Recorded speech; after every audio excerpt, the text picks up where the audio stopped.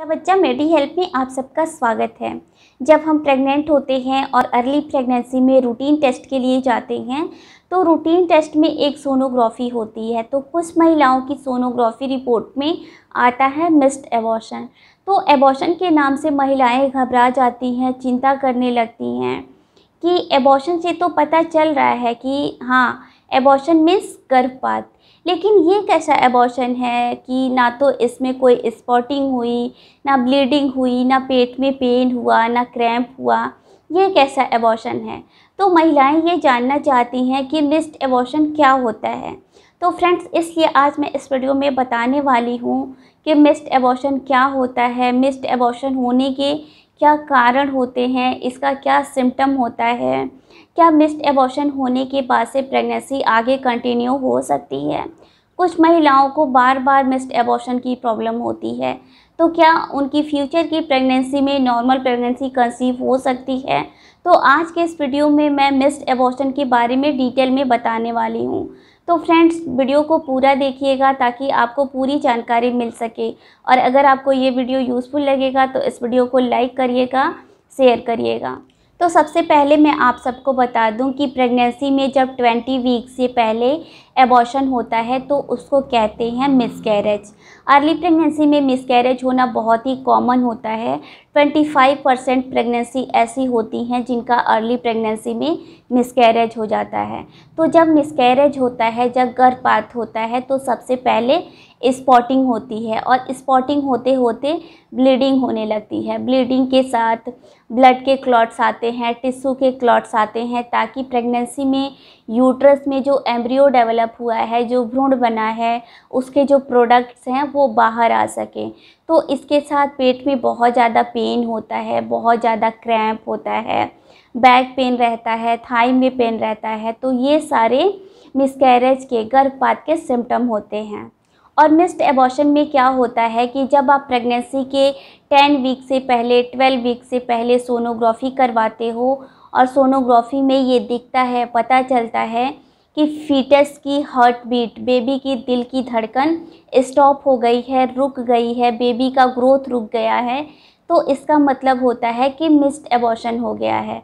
Missed abortion को silent abortion भी कहते हैं, क्योंकि मिस्ड एबॉर्शन में ना तो कोई स्पॉटिंग होती है, ना तो कोई ब्लीडिंग होती है, ना पेट में पेन होता है, ना क्रैम्प होता है मिस्ड एबॉर्शन का कोई सिम्टम नहीं होता है। लेकिन हाँ जब मिस्ड एबॉर्शन होता है तो प्रेगनेंसी के जो सिम्टम होते हैं, जैसे कि मॉर्निंग सिकनेस नाउजिया वोमिटिंग उल्टी और मतली होना ब्रेस्ट में पेन होना टेंडरनेस होना, जो कि प्रेगनेंसी के सिम्टम होते हैं तो जब मिस्ड एबॉर्शन होता है तो ये सारे सिम्टम्स नहीं आते हैं।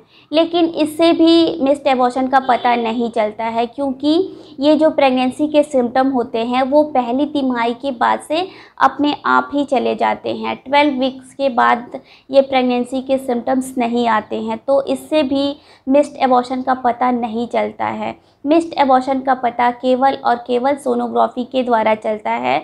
जब सोनोग्राफी में ये पता चलता है कि बेबी की हार्ट बीट जो है वो स्टॉप हो गई है। तो इसका मतलब होता है कि मिस्ड एबॉर्शन हो गया है। तो जब मिस्ड एबॉर्शन हो जाता है तो डॉक्टर कंडीशन के अकॉर्डिंग एबॉर्शन एडवाइस करते हैं। कभी डॉक्टर मेडिसिन के द्वारा एबॉर्शन करते हैं तो कभी सर्जिकल एबॉर्शन करते हैं, कभी डीएनसी करते हैं। अब बात करें मिस्ड एबॉर्शन के कारण की, कि मिस्ड एबॉर्शन होने का क्या कारण होता है? तो मिस्ड एबॉर्शन होने का सबसे पहला कारण होता है क्रोमोजोमल एबनॉर्मलिटीज़ अनुवांशिक खराबी। कभी एग की क्वालिटी सही नहीं रहती है, कभी स्पॉम की क्वालिटी सही नहीं रहती है, लेकिन फिर भी स्पॉम और एग का फर्टिलाइजेशन होता है, निषेचन हो जाता है और भ्रूण डेवलप हो जाता है। लेकिन फर्टिलाइजेशन तो हो जाता है, भ्रूण तो बन जाता है, लेकिन उसके बाद से भ्रूण का डेवलपमेंट नहीं होता है ग्रोथ नहीं होता है तो मिस्ड एबॉर्शन हो जाता है। दूसरा कारण होता है मैटरनल डिज़ीज़ अगर मदर को कोई डिज़ीज़ रहती है, जैसे कि मदर को बीपी की प्रॉब्लम रहती है मदर को डायबिटीज़ की प्रॉब्लम रहती है शुगर की प्रॉब्लम रहती है तो इसके कारण से भी मिस्ड एबॉर्शन होता है। तो ये सारे कारण होते हैं जिसके कारण से मिस्ड एबॉर्शन होता है। तो अगर किसी को एक बार या दो बार मिस्ड एबॉर्शन की प्रॉब्लम हो रही है तो इससे उनको चिंता करने की या घबराने की ज़रूरत नहीं होती है। फ्यूचर की प्रेगनेंसी में उनकी प्रेगनेंसी नॉर्मल कंसीव भी होगी और वो नॉर्मल तरीके से आगे प्रोग्रेस भी करेगी तो आपको बिल्कुल भी घबराना नहीं चाहिए।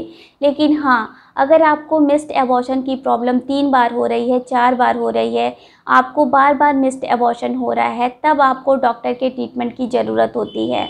तब डॉक्टर आपके हार्मोन का टेस्ट करते हैं, प्लेसेंटा की जाँच होती है, आपकी फ्यूचर की जो प्रेगनेंसी होती है, उसको डॉक्टर के अंडर ऑब्जर्वेशन आपको कंटिन्यू करना होगा। तो फ्रेंड्स, आई होप कि इस वीडियो से आपको मिस्ड एबॉर्शन के बारे में पूरी जानकारी मिल गई होगी। तो अगर आपको ये वीडियो यूज़फुल लगा होगा तो इस वीडियो को लाइक करिएगा अपने फ्रेंड्स के साथ ज़्यादा से ज़्यादा शेयर करिएगा ताकि उनको भी इसके बारे में जानकारी मिल सके और इस चैनल को सब्सक्राइब करिएगा। इसके अलावा अगर आपको इस वीडियो से रिलेटेड अपनी हेल्थ से रिलेटेड कोई भी प्रॉब्लम हो तो आप मुझे कमेंट बॉक्स में कमेंट करिएगा। तो फ्रेंड्स मिलती हूँ आपसे अगले वीडियो में। तब तक आप अपना ख्याल रखिए। Thank you